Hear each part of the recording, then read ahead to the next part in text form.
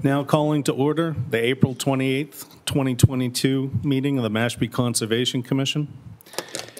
Before we begin, if everyone could rise for the Pledge of Allegiance. I pledge allegiance to the flag of the United States of America, and to the republic for which it stands, one nation, under God, indivisible, with liberty and justice for all.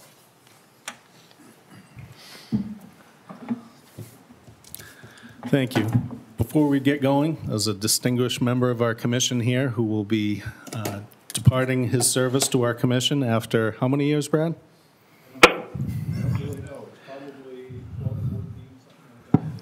After a long time, he's been a great friend to Mashpee conservation efforts. He's been an excellent steward for our conservation lands, and speaking from experience, he's an excellent mentor. We, I, spe- I think I speak for the whole commission and the community when I say thank you, Brad. I just want to make sure that somebody is ready for the motions. With all the conditions. Yes, yes. That will That's a be- tough, that's a yeah, toughie. that Someone needs to step up to the plate there. When it came to motions, if you're familiar with our meetings, uh, Brad was our star pitcher. Our ace, staff ace. Somebody had to do it. All right. And I, I'd just like to thank, thank you, Brad, for all your years of service, and, I- and I know you, this is just one of many areas that you volunteer your time and effort towards, and I just want to know how much uh, it's appreciated by myself and the staff and, and all of your fellow commissioners.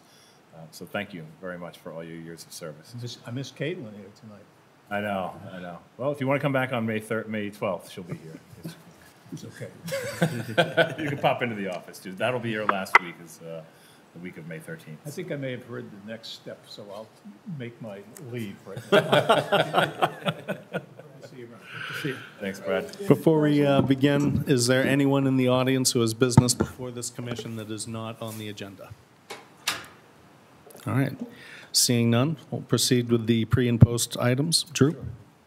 So the first item up uh, is it a request for administrative approval. And this is for uh, 18 Spoondrift Circle, DEP file number 43-3094. Is anyone here in the audience to represent 18 Spoondrift? Eric Rothenberg. Oh, Eric, are you representing? Is someone from Falmouth Engineering speaking also, or? No, they're not coming tonight, just me. Okay, all right. I will bring up the slide here, and I've got some photos as well, but if you want to, we're just passing out the plans now to the commissioners. And um, I'm gonna put the plan up here.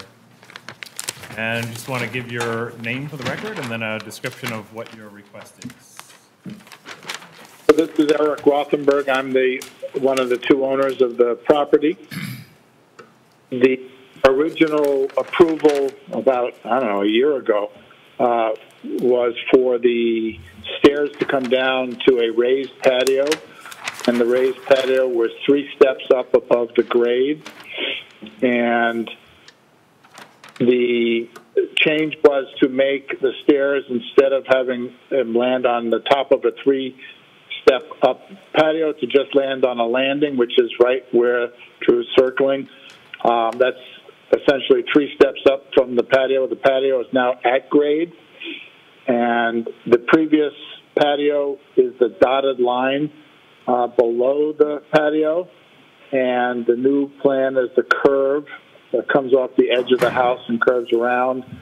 Um, and the so we're giving up the triangle next to the rinse station there and gaining a little more square footage on the patio. The patio does not exceed uh, the coastal bank any further, and the red line below that is the the old decking of the house that existed before it was torn down. So you can see the the point uh, at the end of the landing uh, is the furthest point that the old house extended, and uh, there's de minimis changes uh, with the new plan to have it at grade.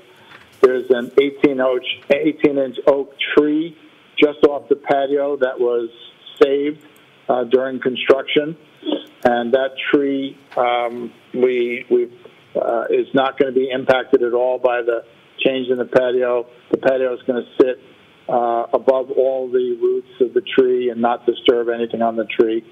Um, and so we feel that it's just a, a slight change in the plans, but no real square footage change, material change. Um, and it just makes for a better layout than to have three steps up all the way around. So the old patio, which is again the dotted line, that was three steps up from the grade. So you would step up everywhere along that dotted line was three steps up. And we decided that was cumbersome and just wanted the patio at grade and only have a landing that would go three steps up. The patio is just a bluestone patio with uh, sand in between and so forth, so drainage is still the same. Okay. I can show some photos of the site. Yeah, do you have any further comments? So, um, Eric, just going back to the plan here, is there was, is this additional mitigation that was proposed, or was this part of the original plan? These, That's uh, the original mitigation. We were about four times the mitigation requirement Right. in the original. I think it probably is still up in the right corner of the plan. Um,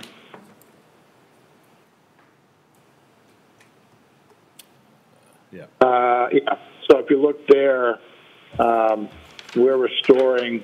I think it might be below that. The uh, yeah, uh, yeah. The mitigation calculations are right below that. okay, I, I can't see them, but I know that we are really well, at, at least double, if not quadruple, over required minimum yeah, I think uh, mitigation plantings, Looks like- and uh, and so that we didn't change any of that. That, that all that work's still going to be done. Okay. So just to show uh, Commissioners some photos of the site, this is the, uh, this is the lot, 18 Spoondrift. The house, as you'll see in the photos that I'll show, is currently under construction, so this was issued an order of conditions for uh, demolition of the existing home and construction of new single-family home with associated appurtenances. So this is the uh, top left is a view of the house from the street, new house under construction. This is the patio area. So Eric, is this, this is to be removed, this edging for the expansion, is that correct? No, that's the actual patio. So if you look at the picture, So is it Um, already, is it already finished? not finished. It's just soil in the middle. No, I mean, Uh, I mean the, the pro- the proposed expansion. That's the, that's the whole thing as expanded. And the tree, when we dug out for the for the footings, uh, there were no. We didn't even encounter a single branch from the tree, the oak tree on the right there. Okay, Uh, yeah, that that we didn't even have to. Not even one, and we took pictures in case you were worried because we didn't even hit a single root. okay, It's uh, the tree went straight down, and so there was no impact whatsoever. Um, I, I made sure the contractor had pictures of everything, okay, and so that will be filled back in, backfilled in to the cinder block will support the bluestone patio. Okay. So it's it's a cinder block height. I mean, a, a, a bluestone paver height above those cinder blocks would be, and the rest would be a grade. But you can see it's still about an inch or two below where the tree mm-hmm. goes into grade, and it will slope down slightly a few inches. That's it. The reason I had asked is because that when I was discussing with Falmouth Engineering, I had assumed the work hadn't taken place yet because it was being requested before the commission. And then when I went out and saw the patio and I measured, I figured it had taken place yet. So that was just a, I wasn't aware that the work had already taken place. Yeah, they went way. I, I just drove down from Needham today. Uh, I was meant to come live to the hearing, but we got here too late. So uh, I was surprised that how fast they had done everything. But Okay. obviously, nothing is uh, set in stone that we couldn't remove it if you guys felt it was uh, not in play. But they, this is the the reason for the rush was because this landing where the machine is, the compacting machine, that's the landing for the exit staircase for the deck. That's where it lands. Right. So they couldn't We've had the deck up for a few months now, and we haven't been able to build the front, the front steps or the rear steps uh, until there's a platform for it to land on. Okay. Um, I, I don't think it's a big deal. I would just say for future reference, if you run up against something that's time sensitive, just contact us first before the work takes place. Because you as the applicant are responsible for how the construction takes place. So if, if things are being expanded or need to be changed and it's time sensitive or, or what have you, um, the order of conditions requires you to let us know before the changes take place. Um, As I said, it's not something that I feel was, you know, egregious in this situation or that it caused any harm. It's just, I wasn't aware of it. Uh, There was no communication that the work had actually taken place. So I was under the assumption I was going out there looking at something that hadn't been done yet. But um, again, it's not, not a huge deal. But just, just for future reference, um, just a couple of other things that I noted, the machine here, the heavy machinery is actually out beyond the work limit. So that needs to be brought back in. You can tell your contractors that, or if they need to bump out the work limit again, you know, communicate that to us and we can, we can take a look and see if the work limit needs to be expanded. But the orders state that no heavy machinery or materials can go beyond the work limit, and that machine is beyond the work limit. So we need to get that back inside. This is the work limit here. You can see in this photo, it's, it's outside the fence. Again, not causing an issue, but just something that's in the orders, and, you know, if there's any change in the work limit or it needs to be removed or anything like that, you gotta communicate that to us, um, before that happens. So again, just another picture here, bottom left. This is the uh, completed patio. This is the retaining wall. Um, Looks like a planter bed or something like that here, or, No, no, that's, that's now uh, bluestoned already. That's the landing, so the. Oh, that's the landing. Got up Got Top it. right yeah. is where the staircase will begin. Got it. And that's where it'll come down to that spot. Okay. And this is the, uh, this is the backyard area, so this is where the mitigation plantings will go, going back to the. Exactly. Going back to the plan. What's it here?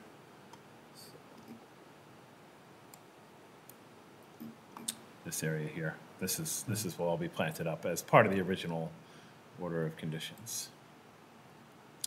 Um, So that's pretty much it in a nutshell. Uh, My biggest concern, just when this was initially presented, was that this 18-inch oak wasn't going to be impacted from the excavation, and the excavation was pretty minor, uh, as you can see from the photos, and they did not encounter any roots. I didn't see any root systems in the excavated area out here, just outside of the um, edge of the patio, so this tree was not impacted, and that was really my biggest concern with, uh, with the patio work. And, and the original plan said raised patio, which would have meant more excavation, but it tur- turned out to be an at grade. So, um, no other comments. Would recommend an approval of the administrative requests. Thank you, Drew. Questions and comments from the commissioners? Is there anyone in the audience who's here to discuss this proposal? If There's no further discussion. We'll entertain a motion for administrative approval.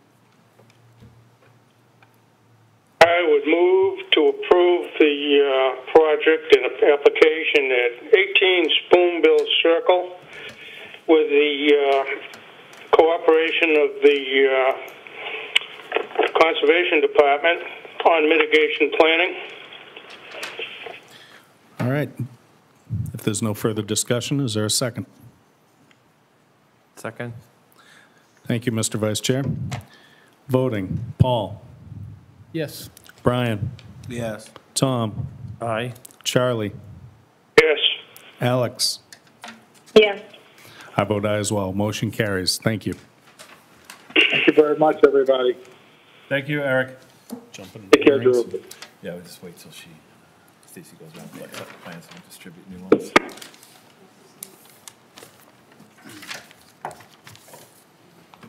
Thank you. Thank you.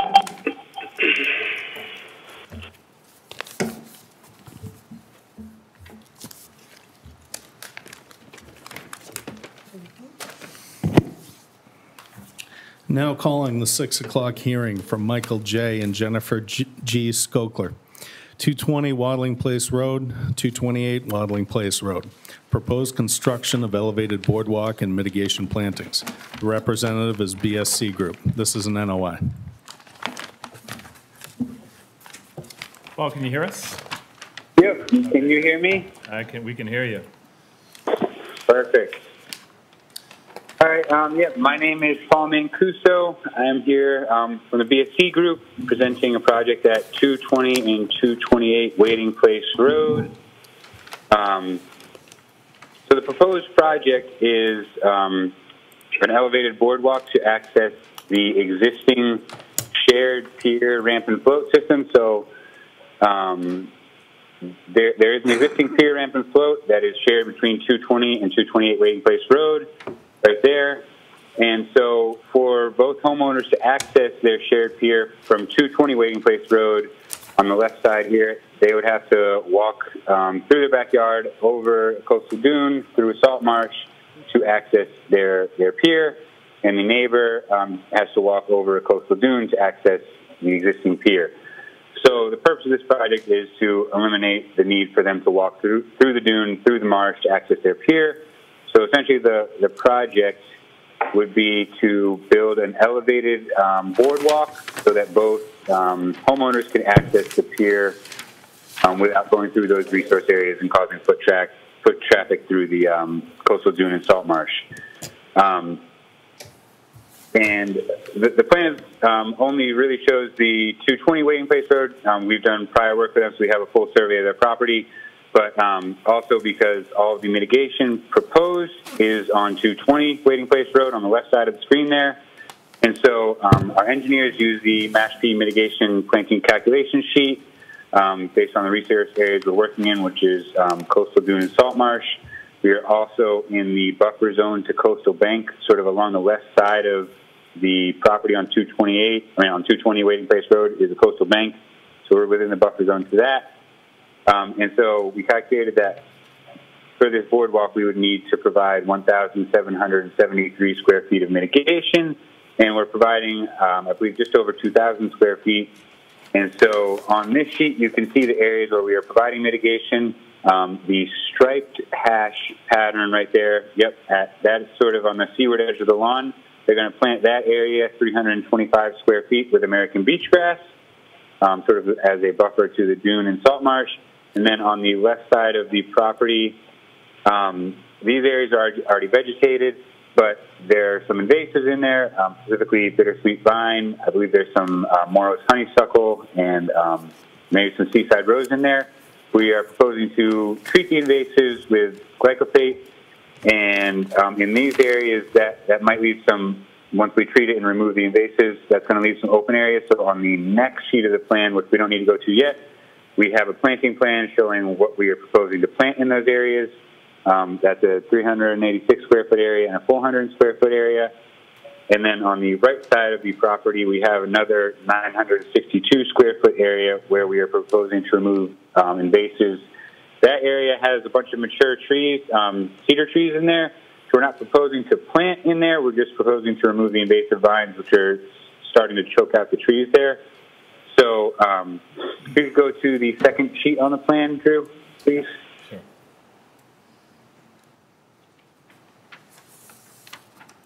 Yeah, so here we have uh, planting table on the top left, but also in those hashed areas on the left side of the plan, it details – what we'll be planting. So we're going to be planting um, some sweet pepper bush or um, um, summer sweet, as it's called, northern bayberry, and Virginia rose in the open areas that um, result from removing the invasives. But that's about it. It's just the elevated boardwalk, which will be um, constructed with flow-through decking. It will be constructed at a um, 1.5 to 1 height to width ratio, as is recommended by uh, DEP's guidelines for um, piers. Um, so it should not impact the vegetation below. Um, it should allow um, plenty of sunlight to pass through so that nothing's really impacted except where the pilings are installed. And that's about it. Um, I guess at this point, if the commission has any questions, uh, I'd be happy to answer them. Thank you. Drew, comments?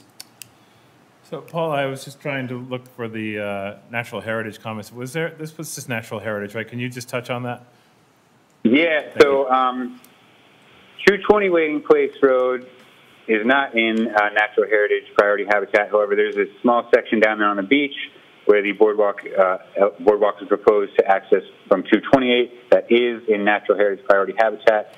We've submitted the um, notice of intent and plans to them. We have not heard back, um, but if if they offer any comments or suggestions, we'll definitely include or be cognizant of what they have to say. But we have not heard back from from them at this point.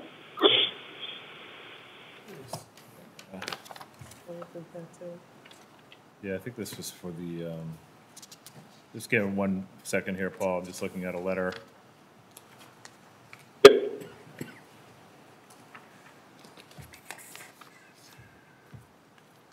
I can follow up with Natural Heritage. In this letter, I'm not sure if this was for, it must have been for this one, a time of year restriction, April 1st to August 31st, um, for construction of the boardwalk, just because of piping plover um, nesting season.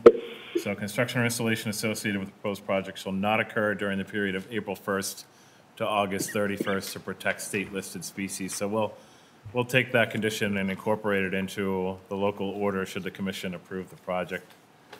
Um, Just to show the commissioners some photos of the site. So this is actually really uh, improving a condition where it's currently just foot traffic. That's, it's a shared dock between the two properties. This is the, uh, this is the beginning of the fixed pier here, where you've just got kind of an at-grade ramp up to the stairway, uh, up to the fixed pier, coastal bank dune area here. Um, And then looking at this stake uh, here, this is the upland, looking at the backyard out towards the dock. This is where the proposed boardwalk is going to be to provide access through the coastal dune uh, to get access to the existing fixed pier. So uh, it's certainly a better situation than now, which is just foot traffic. It will help to accommodate access from both properties. And with the through-flow decking, won't, uh, should, shouldn't have any impact on the vegetation, allow vegetation to grow underneath. Um, Mitigation, as you, uh, as Paul had described, uh, and the combination of planting native seagrass, dune grass rather, and um, and then eradication of invasive species and supplementing with, uh, with native material. So project meets the performance standards for coastal dune, land subject to coastal storm flow. Um, I think the boardwalk, uh, you revised it to three and a half feet in width, Paul, is that? Yeah. Yep. Yeah, So it's actually under the uh, max width uh, restriction under our regulation 27 docks and piers, um, which is four feet. So they've minimized it as best they can while trying to provide safe access uh, through the dune and then up and over uh, Salt Marsh, connecting to the existing pier. So overall, a better situation than what currently exists. And um, I recommend to close an issue with the condition of uh, three-year monitoring and maintenance of all mitigation plantings. Thank you, Drew. Questions and comments from our commissioners? Uh, yes, Drew, could you give me those dates again that they're restricted from uh, working on this project? Uh, Yep.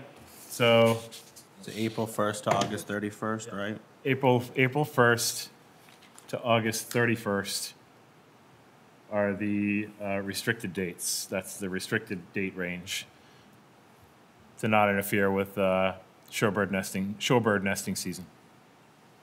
they're not allowed to perform any work during that time. Correct. Okay. Other questions and comments from the commissioners? Hearing none, is there anyone in the audience who has anything to say about this hearing? There's no further discussion, we'll entertain a motion. This is an NOI. Uh, I would make a motion to uh, approve, close an issue with the conditions of no uh, work performed between April 1st and August 31st. Also, condition of pre-year monitoring. Thank you, Charlie. There's no other discussion. We'll hear a second. Second. Thank you, Mr. Vice Chair. Now voting. Paul. Yes. Brian. Yes. Tom. Aye. Charlie. Yes. Alex. Yes. I vote aye as well. Motion carries. Thank you. Thank you, Paul. All right, awesome. Thank you very much. All right.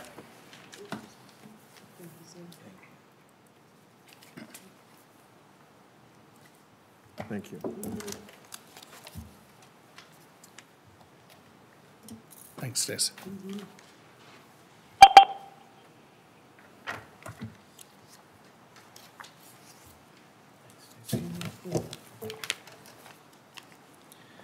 Now calling the 603 hearing for Francis Gloria Muir, Life Estate, 31 Wilson's Grove, proposed septic system upgrade. Representative is Shea Environmental. This is an RDA. Hi, I'm Carmen Shea from Shea Environmental Services, and I'm here representing the folks at 31 Wilson's Grove. Basically, we have a septic system upgrade, and uh, that upgrade is within an AE flood zone and also within uh, the 100 feet of a coastal bank. It's about 96 and a half feet from the top of bank. Uh, Carmen, sorry, because we have a hybrid meeting, can you pull the mic as close to- as, as you can and just uh, Oh. speak loud? Because Okay. the Is- is commissioners who are mic- attending remotely is, yeah. Is it's this on? Yeah, Okay. All right, um, do you want me to repeat, or? please. So I'm here representing uh, 31 Wilson's Grove. We have a septic system upgrade that is within an AE flood zone and also uh, within 100 feet of coastal bank, approximately 96 and a half feet from the bank. And um, what we're proposing is a new, uh, well, the reason for the upgrade is that the existing system uh, does not comply with the Mashpee Board of Health bylaw regarding uh, separation to groundwater, so it failed the Title V inspection.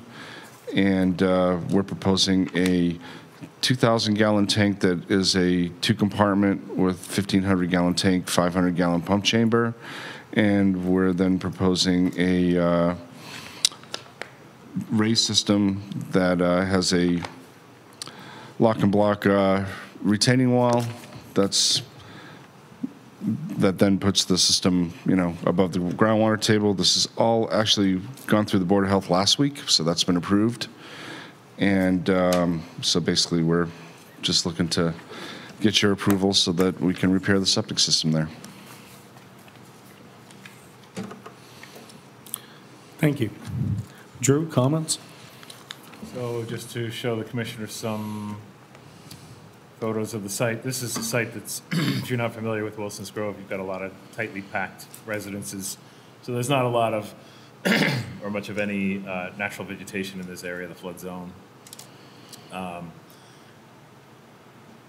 Sorry, maybe I didn't put any photos in. I apologize for that. But you can kind of see just from uh, this aerial that this is all entirely pre-disturbed. Uh, Just going to the plan to show where the work is taking place, the septic work is in the rear of the home. So there's an existing shed there that would have to be removed um, in order to accommodate the work, but there is no disturbance or removal of native vegetation.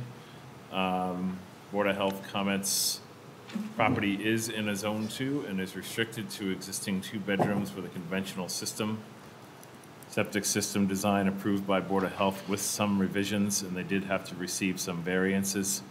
Permit is pending receipt of a revised plan, but has that already been received? It hasn't. I was waiting for any comments here. Got But it. basically, the revisions are that they allowed us a one-foot um, reduction. We, we had based our uh, groundwater separation uh, using Frimpter, so we were, uh, you know, basically 1 point, 1.2 feet additionally above groundwater than what was observed. And then we had a, the neighbors were a little bit you know, a little bit upset about the fact that they didn't want runoff onto their properties because of the retaining wall.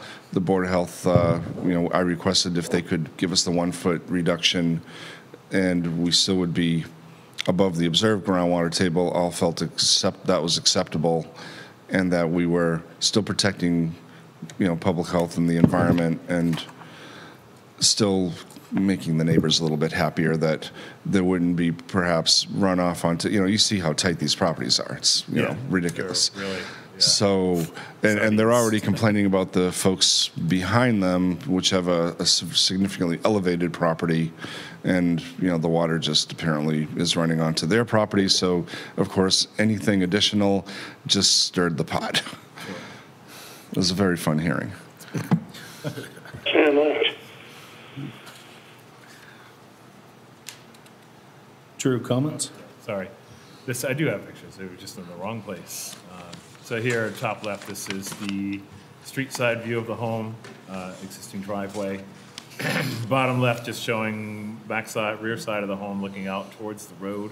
And this is the area uh, where you've got the uh, septic system um, repair work proposed.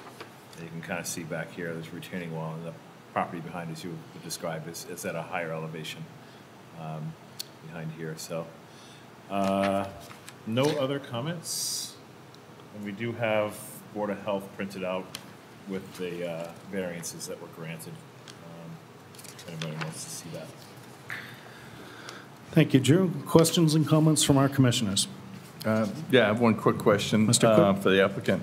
The, uh, the retaining walls on three sides, is the fourth side, the grade at 11.25 there on the? Yes, because it slopes up at the back, so we're not going to require a wall on that. Uh, uh, The, if you went beyond the property, it just keeps going up. Okay. So, it's- so essentially, we're, It's going to come down and level off at the, Yeah. at the top of the wall? yes. Okay. And now with the reduction uh, that we were given by the Board of Health, it's, it's going to be even a little better. There was one photo that showed the abutter. He has a little bit of a raised area where his system is, if you look across where the shed is. So if you see that lawn area, uh, across the little patio. That's actually about where we're going to end up grade-wise now that we have our one-foot reduction. So it made him very happy. You know, the neighbor next door won't really be as impacted, uh, so it made them happier. And uh, we've, we've got nothing but grade going up from there. So the the, um, so the, the wall that's going to be up against the house, so is that elevation eight right in that patio that's right on that photograph? And- Yes. And then you're going to be another three feet above for the top of the wall? Yeah, actually two now because we're one foot reduced from my original plan. Okay. So is that, is the wall going to go up against the back of the house? or- Yep. Yeah. There's no foundation under this house. It's literally on cement blocks. So we have no other choice. It's not as if we can finagle something to, to make it work. It's, it's, this is it. Okay. That's all. Thank you. Other questions and comments from the commissioners? Yes. Mr. Secretary. Traditionally, I ask this question on most septic system upgrades. Uh, Why not an IA proposal? Well, we have a 25 by 90 lot, which mostly is occupied by the house. I don't think I could even fit another component on there without, so the way I designed this, the, the neighbor's house is fortunately set a bit more forward and it does not extend as far to the rear of the property as this particular house and other houses in that area. If I were to have to squeeze one more tank on this property, we would be in danger of, we're only two feet from the lot line, and his house is maybe another foot. Mm-hmm. So I set everything as far back as possible, and that's why we didn't do anything L-shaped or, or occupy any of the rest of the driveway with the septic system, was because we would, we we literally, just even to put this tank in, are gonna have to have a trench box and sheathing and everything. The house itself not being on a foundation is also going to have to have piers poured under it before we even can dig for the septic system for fear of that collapsing in. So it's a pretty tricky project as is. It's a two-bedroom home, it's not on a foundation. Why a 2,000-gallon tank for a two-bedroom home? Oh, because 1500 is the standard size for a septic tank for Title V, and then the second compartment is 500 gallons for the pump chamber. So it's just that, rather than trying to squeeze, you know, put two separate tanks, as we just discussed, um, and, and increase the length of what we have to dig, one tank made more sense to just dig it, drop it, and, you know, move on. Yeah. You know, the tank itself is H20, so that all machinery can actually run over the tank once set without impacting it, you know, so it can take vehicu- vehicular traffic and machinery traffic.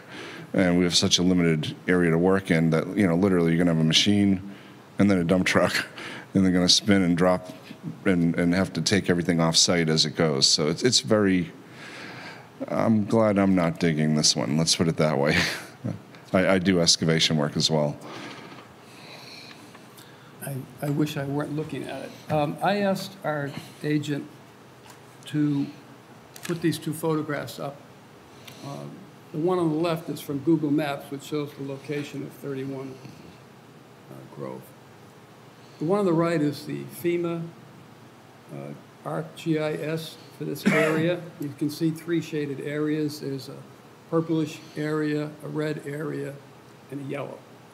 This particular project is in that yellow area, and this is the high-case scenario for coastal erosion 2030. That's eight years away. So when I see a septic tank that's not going to meet the five-foot separation, You- You're referring to the leaching component. Yes.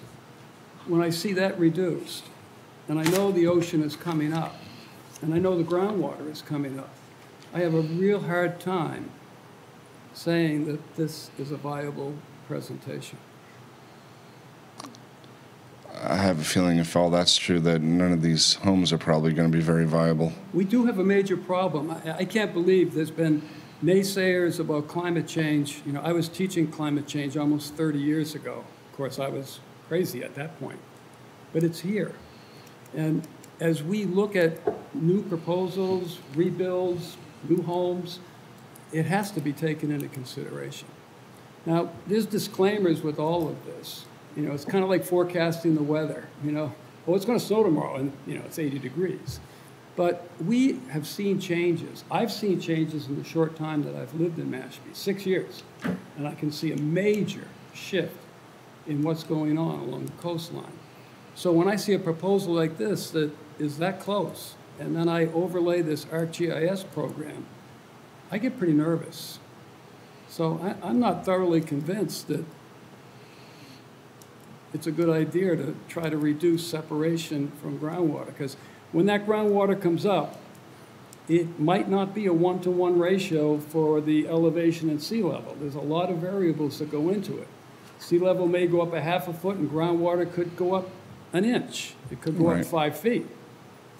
We don't know.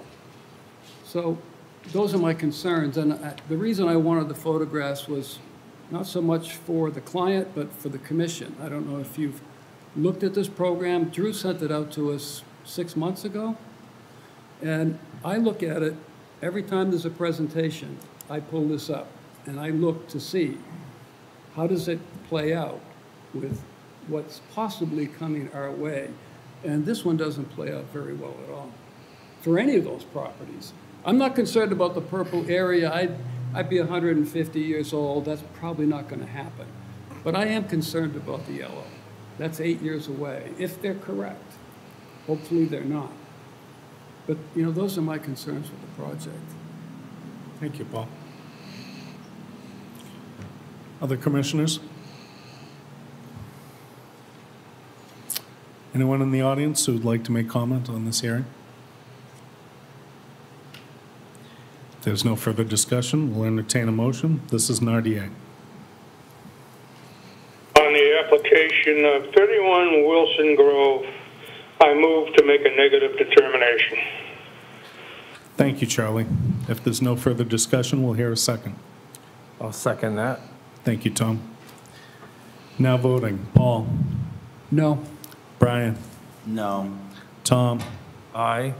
Charlie? Yes. Alex? Yes. I vote no. What is, the- is that, uh, That makes was it a three tie noes. vote. three noes, three yays? Yep. So the motion, uh, when it comes to RDAs, um, there's a motion, there should be a motion, if an RDA is not approved by the commission, the motion should be for a positive determination. uh, which means that the commission, uh, I would, I would recommend that you put forth, you know, an associated reason for a positive determination, um, which essentially means that it's not approved under an RDA and it should be submitted as a notice of intent.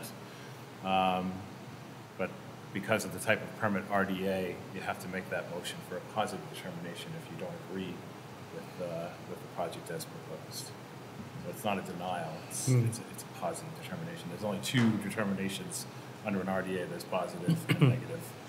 So, Well, I would encourage a motion uh, for a positive determination from one of the commissioners so that we can move this project forward into a possible notice of intent. Uh, I'll make that uh, motion. Thank you, Tom. If there's no further discussion, we'll hear a second. Second. Thank you, Charlie. Now voting for positive determination. Paul? Yes. Brian? Yes. Tom? I, I- I'm trying to understand this. This, this, I've never done this before. So we're doing this, this was a simple septic upgrade that we've approved many, many times mm-hmm.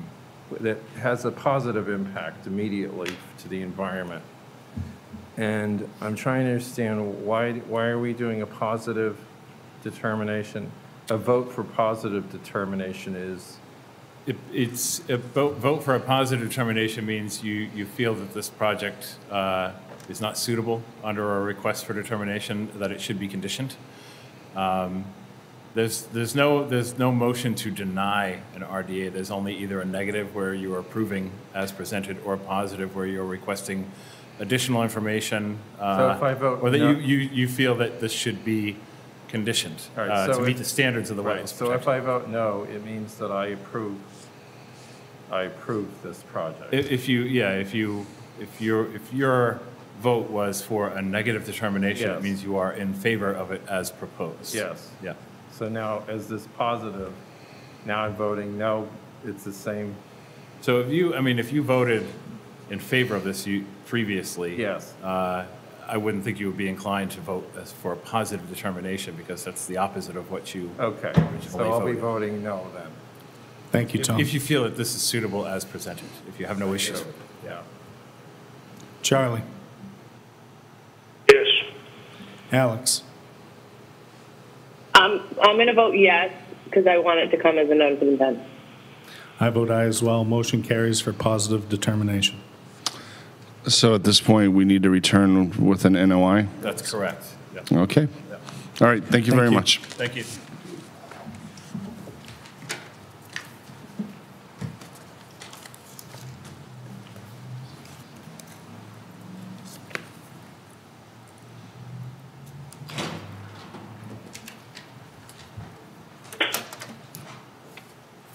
Thanks.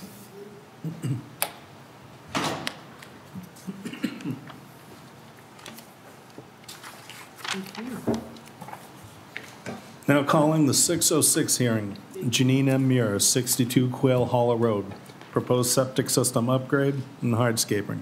Representative is Myers and Sons. This is RDA. Good evening, Darren Meyer, representing the owner. Uh, Gene Massey, 62 Quail Hollow Road. Uh, The proposed project is for an upgrade of a failed septic system. Uh, There is no proposed increase in flow. It'll be a design uh, and an installation of a uh, two-bedroom septic for a two-bedroom dwelling. There's no proposed increase in flow. Uh, We're dealing with uh, a property that's uh, butts John's Pond. Uh, Basically, the entire property uh, is within 100 feet of the um, vegetated wetland that was flagged, shown on the plan.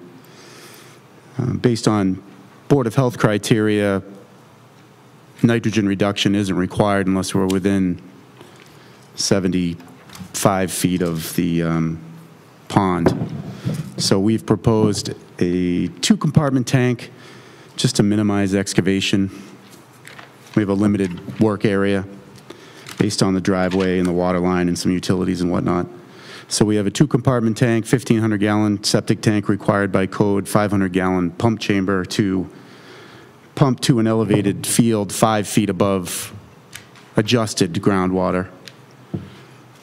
Uh, The system is approximately foot and a half feet out of the ground.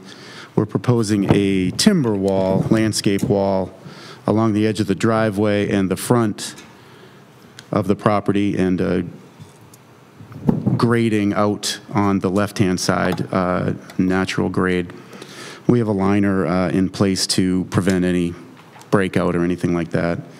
Um, The wall was necessary. We weren't able to grade all sides because of the proximity to the street and, and the driveway, trying to maximize, um, you know, setbacks as far away from the wetland as possible. Uh, That's pretty much the project. Uh, We've got mitigation provided, straw bales, work limit line designated on the plan, and um, happy to answer any questions. Thank you. Drew, comments?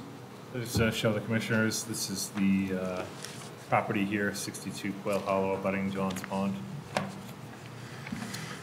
Top left just shows a view of the uh, house from the street. Is this, I'm assuming this pine is probably going to have to go, is that correct? What's that? The pine tree that you see in this image? Yes. Here, that's, that's going? Yeah, and there's. I think, is it a, it might be a cedar up against the street. That, that's Yeah. probably going to be close to, Yeah, it's actually not a native uh, pine, but I just yeah, assumed that that's, I think that's been- the only tree too there, so yeah, it's going to have to go. Okay. Uh, Top right, just showing, you've got the bordering vegetated wetland here, backyard, uh, fringe area bordering John's Pond. Um, Just another uh, image of the backyard, so a mix of native vegetation and some landscaping. And then just looking back at the existing home. So this area, top left, this is the area of uh, the leach field. And um, the Board of Health comment said that they're still, plan is still under review, but I did have uh, correspondence with the health agent just to uh, get some more information on what the setbacks were, because I saw it was, you're keeping it outside the 75 foot. That is their mandatory setback, so it's being adhered to. Uh, And I had questioned about, you know, what the Board of Health thought about uh, an IA system here.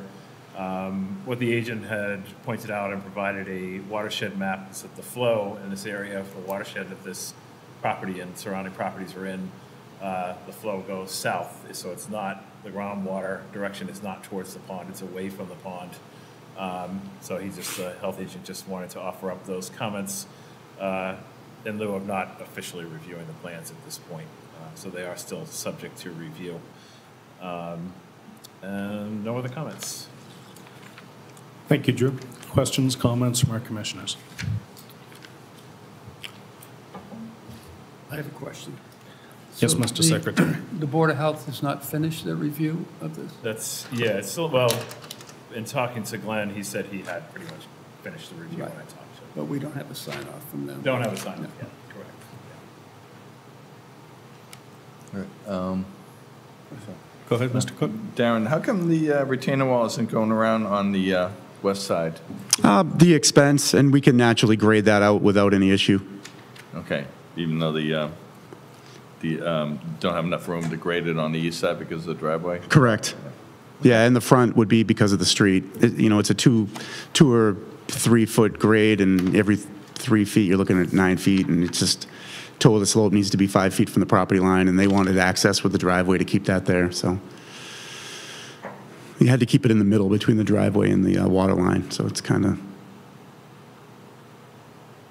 Okay. Any, uh, Drew, any concerns with the wall not going all the way around for uh, keeping every- everything from eroding or? Not really, Coming out. it's, it's pretty minor grade, so I think it should be fine. Okay.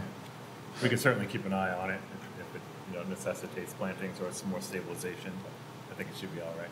Okay, great, thank you. Thank you. Other questions from our commissioners? Is there anyone in the audience who's come to comment on this hearing? If there's no further discussion, we'll entertain a motion. This is an RDA. On the application of 62 Quail Hollow Road, I would move for a negative determination. Thank you, Charlie. Do I hear a second? I'll second it. Thank you, Mr. Vice Chairman. Now voting. Paul? No. Brian? Yes. Tom, Aye. Charlie, Yes. Alex. Yes. I vote aye as well. Motion carries. Thank you.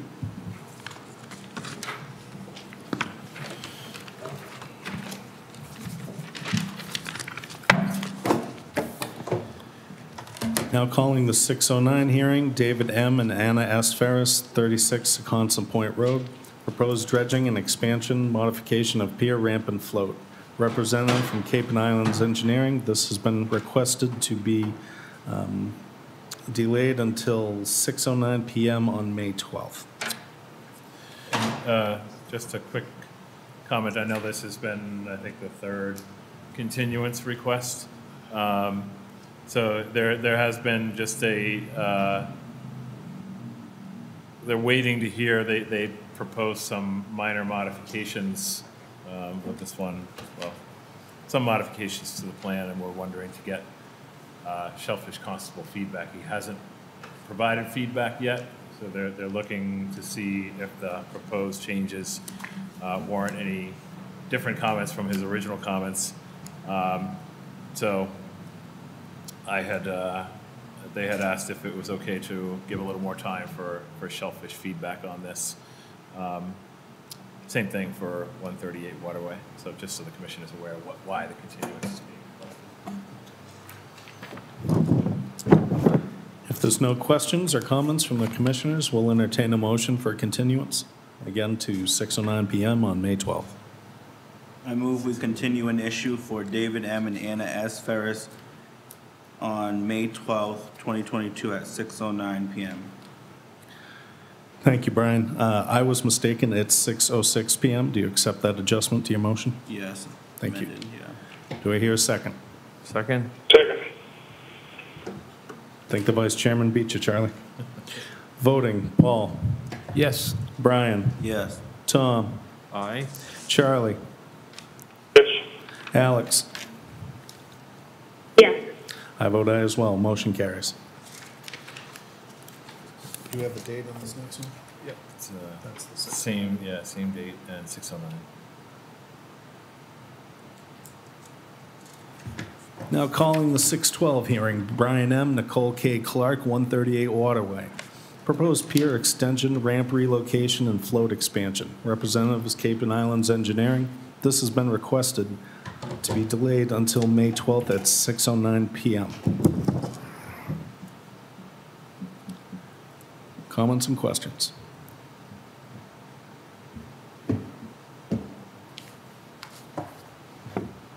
Drew? Oh, sorry, same, uh, same reason. Shellfish Constable, uh, giving more time for response to some modifications um, and some communication with the Shellfish Constable over those proposals before they uh, proceed with Concom. Very good. Questions, comments from the commissioners? All right. Hearing none, we'll entertain a motion for a continuance to May 12th at 6:09 PM. I'll make a motion to uh, vote to continue the hearing of Brian M. and Nicole Clark, 138 Waterway, to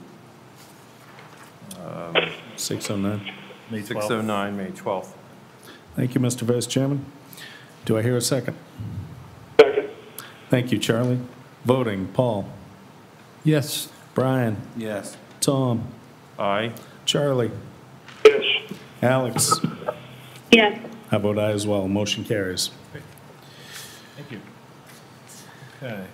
Now opening the 6:15 hearing for the town of Mashpee. This is a public comment for proposed prom- promulgation of amended Chapter 172 Wetland Regulations, 12 Mitigation, and 27 Residential Docks, Piers, and Floats under Mashpee's Chapter 172 Wetland Bylaw. Drew? Okay, um, so as the commission has been updated in previous meetings, as we've gone through the bylaw review subcommittee, we had public comment period already um, advertised in the paper. Uh, Did not receive any comments from the public on the proposed regulatory language amendments. Uh, So they were then submitted to town counsel, who had some uh, feedback on uh, both regulations, mostly just um, spelling, grammatical, sentence formatting, things like that. Um, But uh, nothing of any substantive change for Regulation 12 mitigation.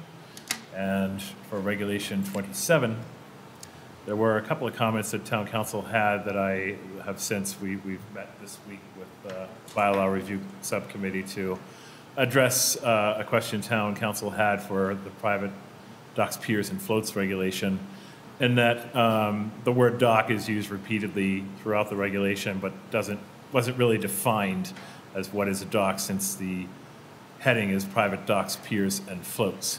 So we added language here uh, at the bottom for the purposes of uh, this regulation, the term dock shall be defined as any assemblage of raised fixed pier, floating walkway, ramp, and float.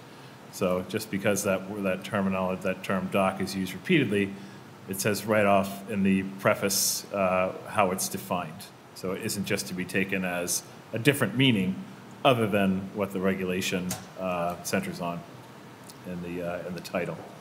So that was really the only change. Um, and there was a question at the, uh, at the end here, this section that is a selectman's policy here.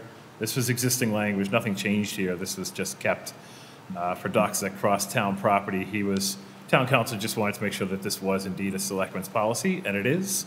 And we just felt it warranted being repeated in this regulation, um, just because it, it applies to, uh, to this regulation, even though it's a, a selectman policy. So it's just uh, repeated under, under the regulation. And there's no, been no changes uh, to the wording there, so.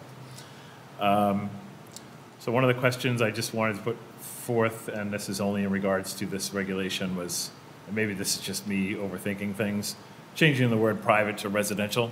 Um, We can have a discussion on it if you don't think it's worthwhile to do that, if you think private is good. I, it's probably me just overthinking things, um, but uh, I had suggested just changing the word private to residential, just to make it clearer, I guess. How are, how are uh, public docks noted in the regulations, since I haven't? So pretty much at the same standards, thing. but it would be really discretionary the for things like marinas or town landings.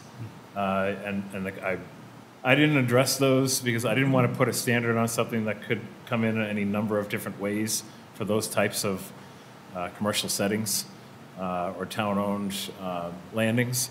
So I figured it would be just best to, I mean, many of the standards in this regulation would apply to those types of projects as well, but it would really be just at the discretion of the commission based on how the project is presented by either the town or a private marina. Uh, And there's only two in town, I think, there's Mashpee Neck Marina and then the New Seabury uh, Marina. So, uh, so I didn't add anything, doesn't mean something couldn't be added in the future. I just felt that it would, should be kind of left open-ended more so.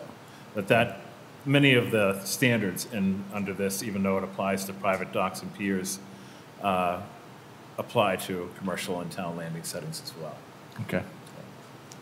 Or we could just leave out private entirely or residential and just call it docks, piers, and floats. I think it's important to mark a distinction between commercial operations and, and homes. Yeah. Questions, comments on that part? All right. So I, I would ask that the commission, um, you can start with either regulation, but there be a separate motion made for each. Okay. For promulgation of each regulation. So we're looking at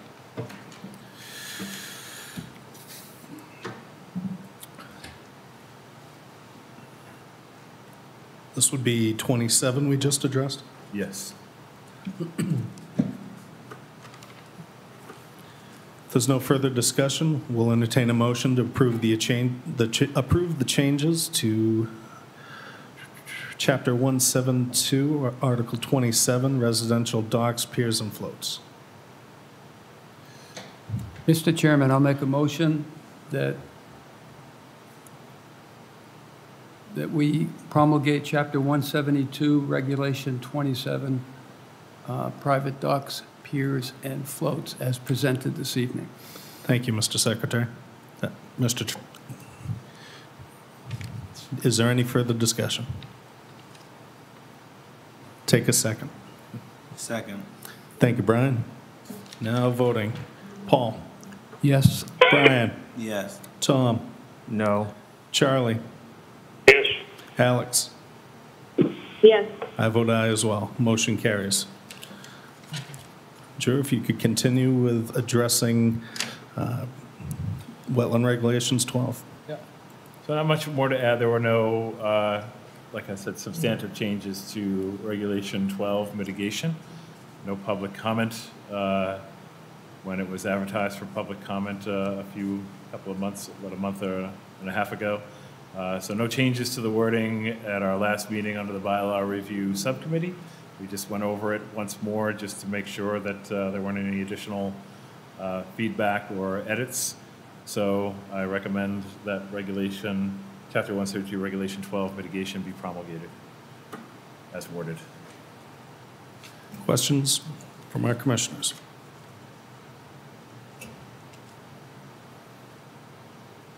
There's no further discussion, and no one here in the public is here to comment.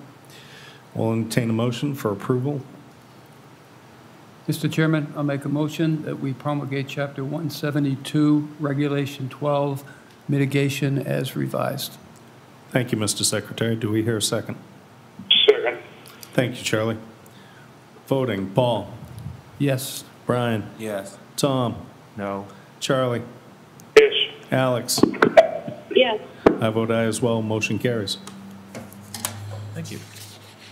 Thank you, Drew. If, uh, Thank could- you uh, to Brian, Alex, Brad, and Paul for, for helping out and getting these regulations uh, edited and uh, ready for promulgation. So takes a lot of time and effort, and I appreciate it. Um, So the last item, uh, sorry, if you- I just wanted to just give some background on one of the COCs. I know they don't normally uh, have discussion, but this one, some issues came up. So for the 618 uh, hearing, this is for the certificate of compliance for 55 Shoestring Bay Road. This was for uh, some uh, additions to the existing home, addition to deck and an existing, uh, addition over an existing deck uh, of the home, border, buff- bordering top of coastal bank. And uh, it was noted by the surveyor of BSS Design when they submitted the COC inspection that there were some uh, observations that they saw that weren't in line with the order conditions or the plan of record. One of them was removal of some trees that I had since spoken with the homeowner, and they had uh, supplied photos that I had been shown a few years back, and it just wasn't, uh, I didn't have any documentation of it. It was kind of a verbal storm damage cleanup approval, so that got straightened out. But there was also um, some grading and hardscaping work, landscape retaining wall, uh, landscape tie retaining wall that was created without a permit a couple of years after the house work uh, additions were done, which was back in 2012. So this work took place in talking with the homeowners around 2014. Um, The issue with it is that it wasn't something that I would say wouldn't have been able to have been permitted had they come to us uh, prior to doing the work, but it did extend out into the coastal bank, in an area of coastal bank that was already existing lawn. It was coastal bank by slope definition, not naturally vegetated. Um, So in light of that, uh, this is one of those situations that we encounter quite a bit where somebody, an applicant is coming forward with a certificate of compliance at the 11th hour when they're about to sell, sell the home. Uh, So they're up against a deadline, and um, so I had a conversation with the homeowners on how best to address the issue. And what my suggestion was, was to um, have this work filed before the commission after the fact, notice of intent for this rating and hardscaping, and um, get a cost estimate for everything involved in the cost of permitting, creation of a plan. It's going to trigger mitigation, so the cost of mitigation based on the square footage, which is going to be at a two to one ratio. Uh, And once they figure out all of the uh, estimated costs, the current homeowners will put money into an escrow account for the new homeowners to cover the entire cost of this um, compliance permitting. And uh, we will withhold issuance of the COC, which you'll be signing tonight. I recommended signing it, and you can have a conversation and provide feedback on this. This was just my suggestion to the homeowners, given the, the circumstance, um, that we would sign it, but we would not issue it until we received documentation that this escrow account was created And then the surveyor, I had a conversation with them, would get going on the after-the-fact notice of intent filing as soon as they possibly could. This is a solution, given the, uh, the circumstances uh, and the pending sale of the home, and it's, it's pretty typical that we encounter this quite a bit. Uh, Applicants simply don't read their order of conditions, or they assume that their consultant is going to handle everything from A to Z, and who knows what type of conversations take place between the consultants and homeowners. I can only say that the homeowners are ultimately responsible for reading and understanding their order of conditions, and they sign a document attesting to that fact. So, um, but in light of that, it's, it's still a situation that I felt that this was going to be the most uh, efficient and expeditious process to get compliance while not interfering with the sale of the home. Uh, So, and they agreed, they, they're going to, uh, to follow up on that. So, um, does anyone have any questions on that, or? What would be the time frame, Drew? Something like that to occur? I, I only communicated with BSS Design today because they had asked the same thing. They said, what do you, what do you expect for a notice of intent timeline? I said, as soon as feasible. Yeah. Because they have a lot of work, obviously, they're dealing with a lot of other projects and clients, and, uh, so I said, that's, you know, that's what I suggest, is getting, getting to it as quickly as you can. I can't put a certain date on it because I don't know how busy they are. And that would be the new owners that are filing. That would be the new owners that would file. So obviously. But we're not releasing the certificate of compliance, we can get it signed. So there's we're a not lien on releasing. that property. Yeah, Exactly. Until they provide proof that an escrow account has been set up from their counsel, from their lawyer. Yeah. Other questions from our commissioners?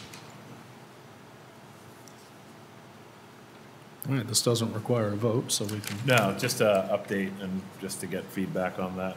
I've, I got a follow-up question. Do we have a mechanism that would flag uh, an NOI that is kind of outstanding on a project? In other words, they've never got that land cleared, uh, no So what, COC ever yeah, issued?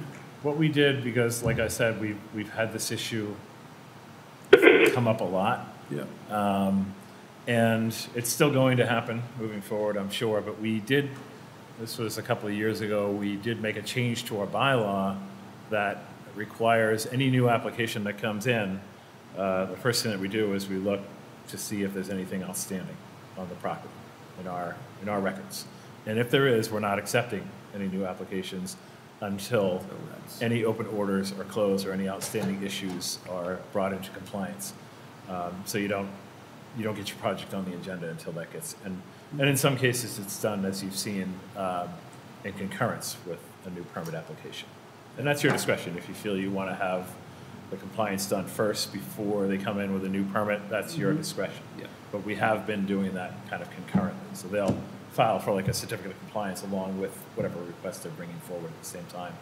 But it's allowed us, it's like, it's a really good housekeeping measure to make sure that we, you know, catch it before too much time goes by, and then all of a sudden, they're at the eleventh hour, they're selling their home, and oh my God, I need this a week. Yeah. Can you supply me a letter or something? And, and we didn't want to, we were doing that for a while as courtesy, and then I just didn't feel comfortable continuing that practice, so then we changed the bylaw. So, way to catch it. Other discussion? Hearing none, Drew, could you return us to the pre-post hearing agenda items?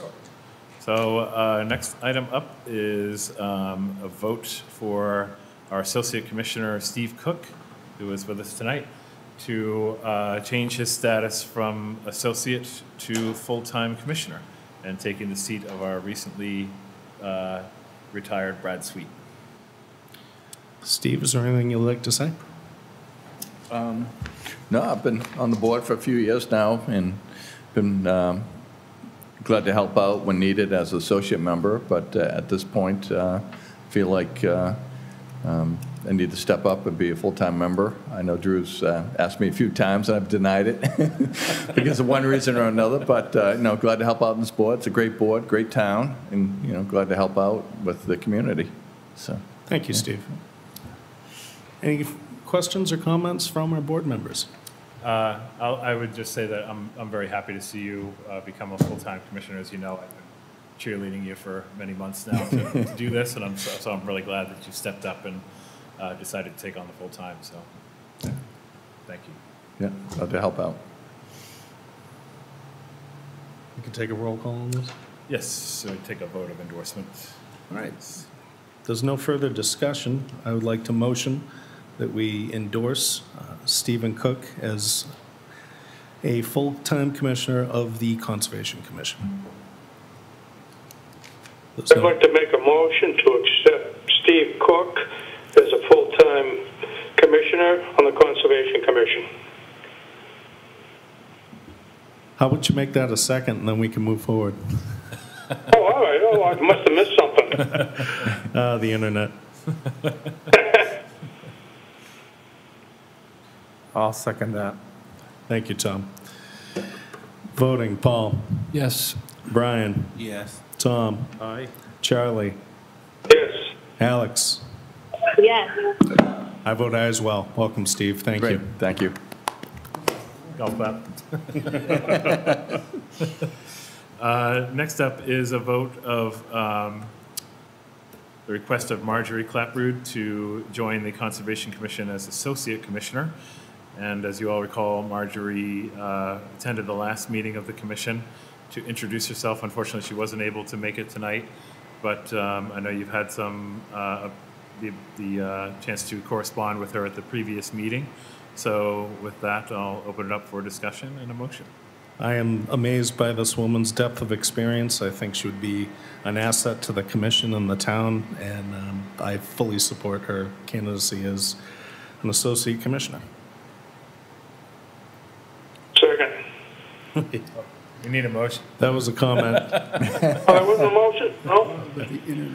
Well, you guys have me out to lunch tonight. Well, we're in the str- home stretch here, Charlie.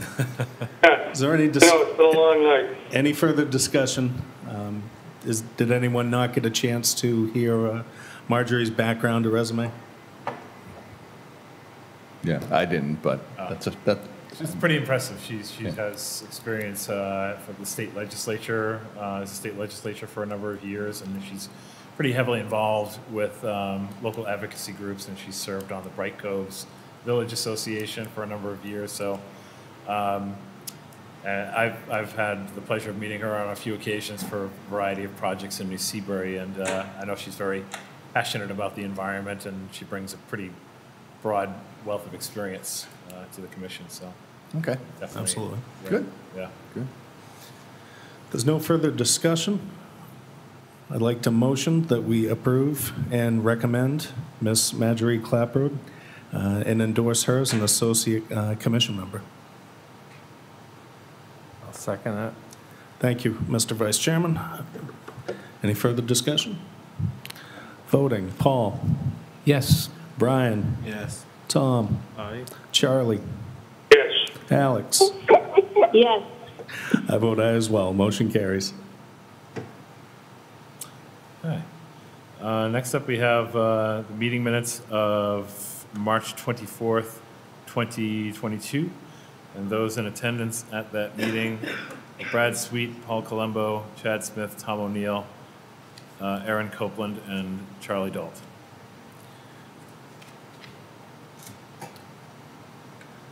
Is there any discussion on the meeting minutes of 3:24:22? Absent further discussion, we'll entertain a motion. Make a motion to accept the meeting of 32422. Thank you, Charlie. Do I hear a second?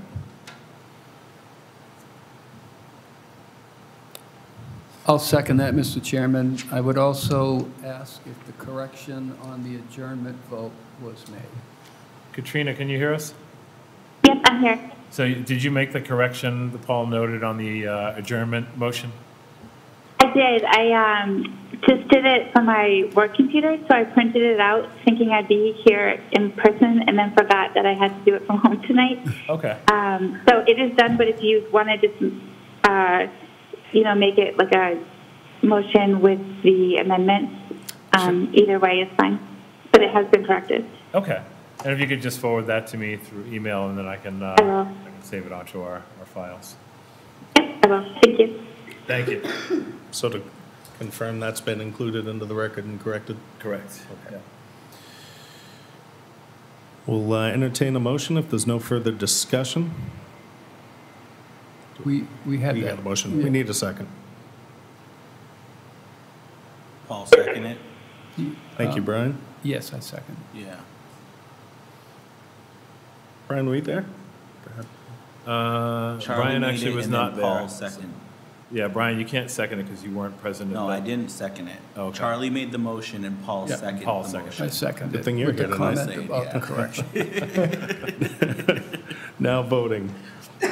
Paul, Yes. Tom, Aye? Aaron, Yes. Charlie. Yes. I vote aye as well. Motion carries. Thank you. Okay, one last post, pre-hearing, post-hearing agenda item before we move on to the updates. Are we Doing the one for canceling the night? Yes.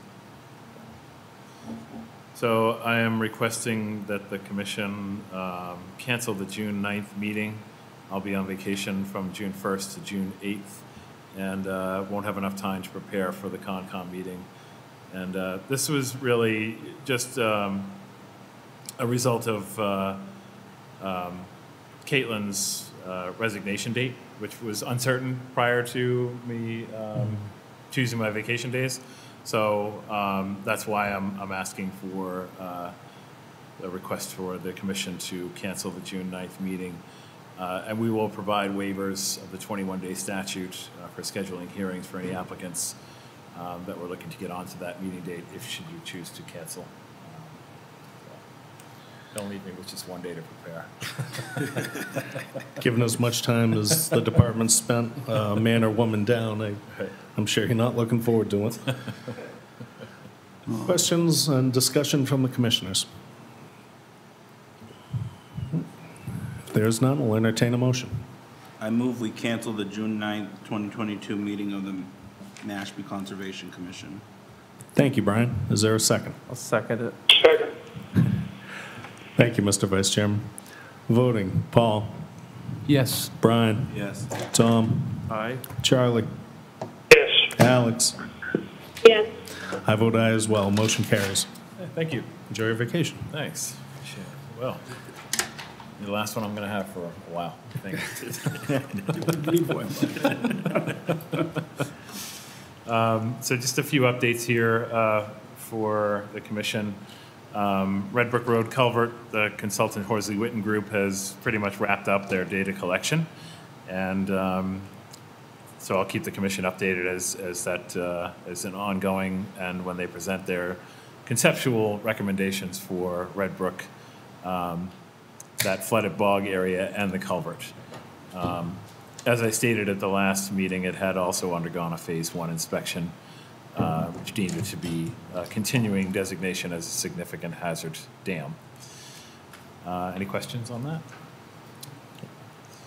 Upper Quashnet Restor- Restoration, we were going to have the alternatives, um, presentation of alternatives, conceptual design by Horsley Witten Group tonight, but uh, Horsley Witten had asked for additional time uh, to finalize their presentation, so they'll be coming in on the May 12th meeting to present, and that will give uh, more time if anyone hasn't uh, reviewed the conceptual plan. Uh, If you haven't received it, let me know, I'll send it out to you. Uh, There was a link that you have to click open because the attachment file sizes were just too big to send through email. But if anyone has any questions or comments, and you want to submit them prior to the meeting, uh, feel free to send them to me via email. Um, We had a reading, meeting of the bylaw review subcommittee uh, on April 26th to discuss the recently promulgated regulations, uh, as well as looking at uh, Regulation 30, which was rescinded a few years back, prevention of pollution and nitrogen loading. So we had a good discussion, kind of uh, going over the existing language, what we felt uh, may need to be edited. And one of the things that I had recommended, which I have since reached out to uh, Board of Health, is for either our May 12th meeting or May 27th, is to have uh, the health agent and the chairman of the Board of Health attend our Conservation Commission meeting, so we can kind of have a discussion back and forth about IA systems, um, how effective they are, learn a little bit more about them, have them weigh in on Regulation 30, um, and I think it'd just be a benefit uh, moving forward to, uh, to get that regulation finalized, and, and just uh, as education for myself and the commissioners on IA systems, because Brian Baumgaertel, who's the chairman of the Board of Health, he also uh, works in the testing uh, field on the base for all of these different technologies. So there's no better person to have uh, give a presentation. So waiting to hear back, and we'll finalize those dates, uh, that date moving forward.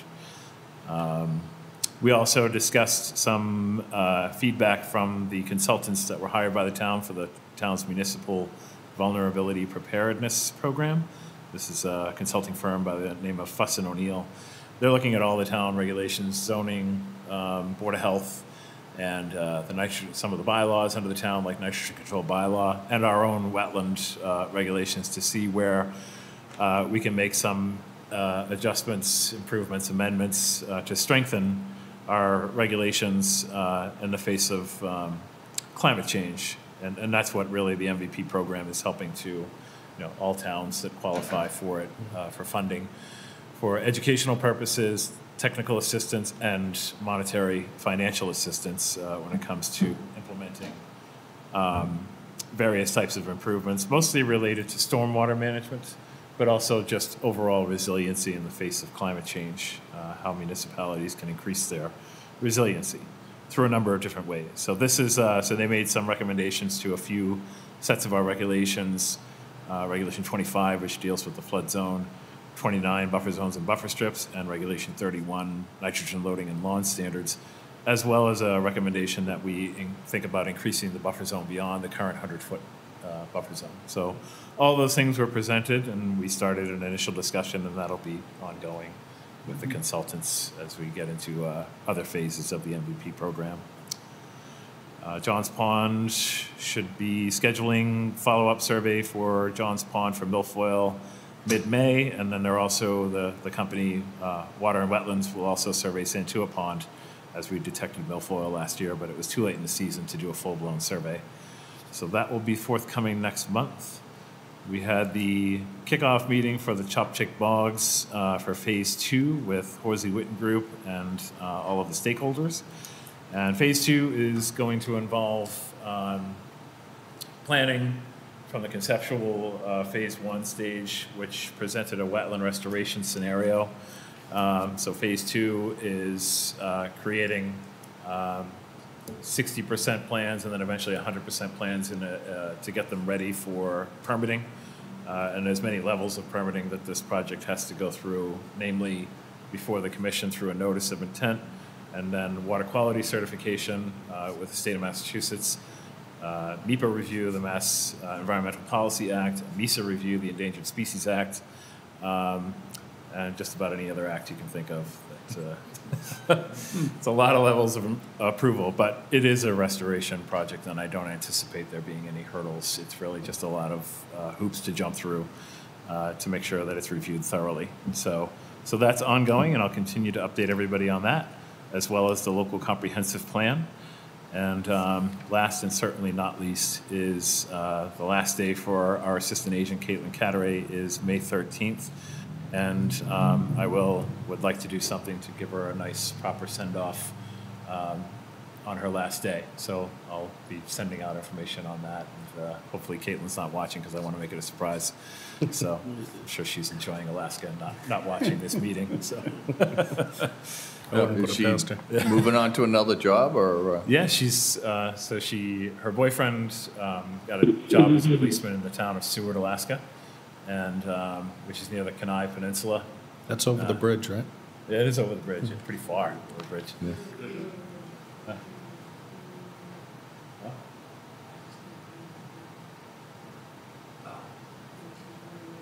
Yeah, so, yeah, she is moving on, but we can, we can Yeah. communicate with her if you want to talk to her more about it. I don't want to, Okay. since we're on television.